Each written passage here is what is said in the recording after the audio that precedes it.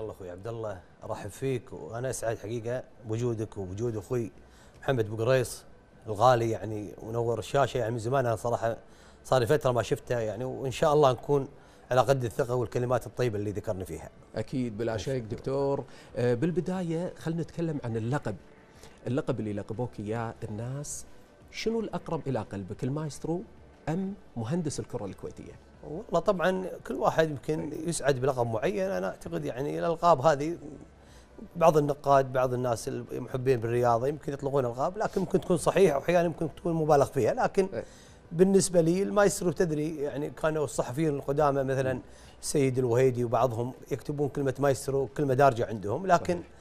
يعني الأغلب إن المهندس خط أو المهندس يعني كلقب يعني يذكر لكن الالقاب أنا وجهه نظري ما هي يعني يمكن ذاك الشيء اللي يزيد أي شخص يعني. صحيح إيه. طبعا.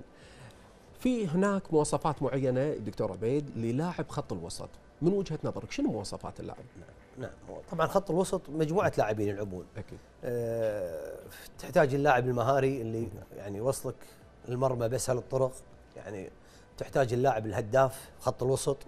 تحتاج اللاعب ذو المجهود العالي والقوة البدنية وافتكاك الكرة والدفاع فأعتقد يعني المميزات هذه كلها أي مدرب ناجح متميز آه، يحتاج هذه النوعية من اللاعبين لحسب آه، حسب كل مباراة حسب قوة الفريق المنافس.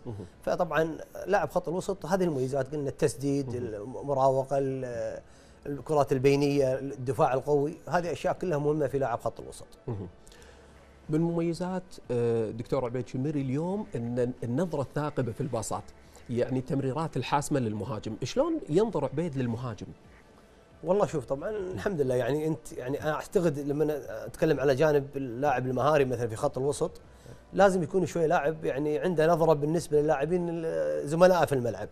بمعنى يعني مثلا ممكن كمثال حمد الصالح علي بسويهي مؤيد الحداد لاعبين مهم. شلون أنت تلعب لهم الكرة البينية في المسافة يعني ال- ال- الفاضية يعني. أو الكرة يعني تقدر تقدير حتى شلون تلعب معاه شلون انك إنك تكشف التسلل. بطريقة معينة عشار الثانية ما أبالغ إيه. هذه الكرات مهمة جدا هم بعد كذلك تلعب مع اللاعب يلعب ألعاب الهواء شلون ترفع له الكرة صحيح. في لاعب ممكن يكون يحجز زي مثل محمد إبراهيم كمثال